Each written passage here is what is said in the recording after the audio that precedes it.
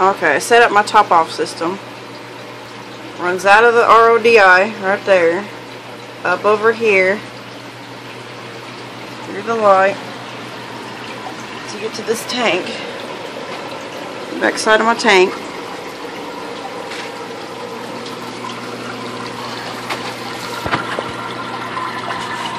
Down rigged right there.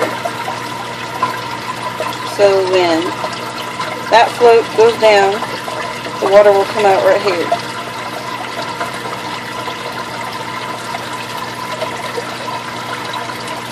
And it only took about $15 to make this oh, this uh, top off system. So it's cheap and it's pretty uh, works pretty well. It's five dollars right there for the float at Pure Water Club on eBay.